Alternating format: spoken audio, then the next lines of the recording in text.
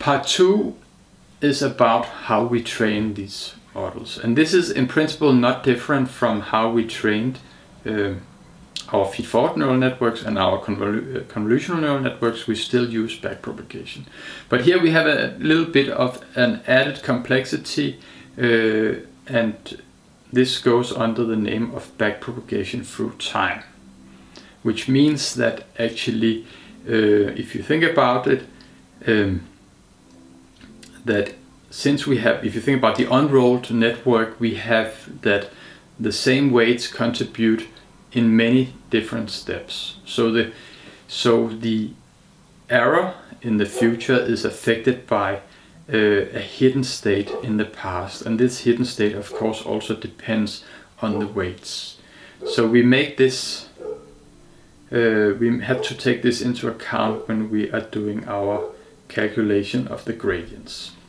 Yeah, so let's just go back and just for a moment uh, recapitulate what we learned about backpropagation for a feed-forward neural network, right? So we had this update rules that we say, okay, we want to take the derivative of the cost function with respect to the weights in the second layer, and we do that by the chain rule. So we say first, our cost function only depends on the activations at the second layer, and in turn, the, w, uh, the W's in the second layer depends on these activations. And for the weights in the second, in the first layer, we have to go, we have to use the chain rule of differentiation one more time in order to get to the point where we can take the derivative uh, of the activation with respect to the weights. So let's try to play the same kind of game. And okay, so there was one more thing here is that we have this kind of bookkeeping where we keep the where we should keep something in memory in order to have not having to calculate things over and over again. And this is this derivatives with respect to the activation of the second layer in this case. So let's go back to the uh, definition of our recurrent neural network written like this.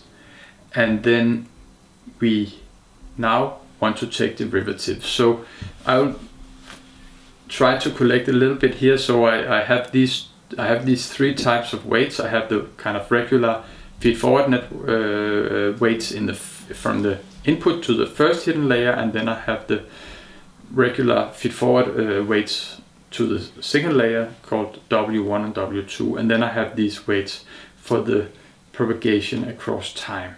So if I look at these expressions, I can see that I can essentially write the derivatives with respect to the weights in the in the first layer and the forward in time uh, according to the same rule. So I've tried to collect that here um, in this notation.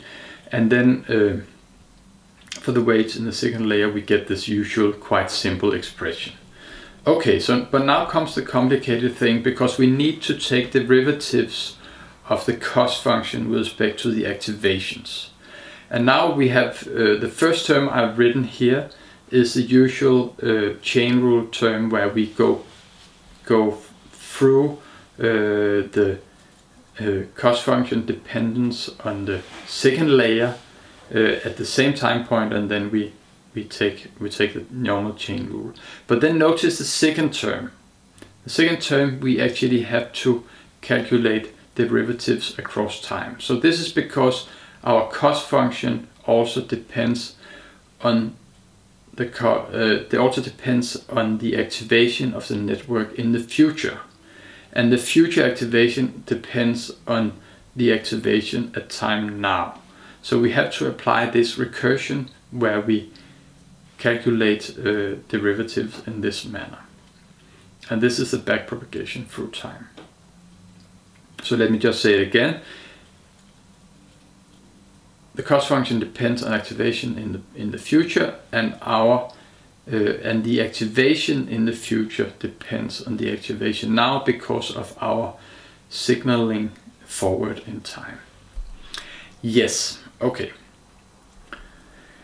So a problem in, in deep learning that we will attack uh, with different uh, clever initialization uh, methods um, um, uh, next week will will uh, will is what is called vanishing and exploding gradients. And this, so I could have talked about this already when I talked about feed-forward neural networks, but it's especially a hard problem in recurrent neural networks. So let me try to uh, tell you how this comes about.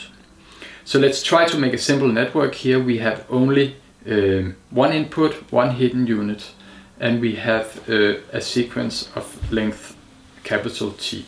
And now we assume that the cost function only depends of on the on the on the last time step. So it's an architecture as I've drawn here on the left. So there's only one single target to predict. So it's a many to one problem.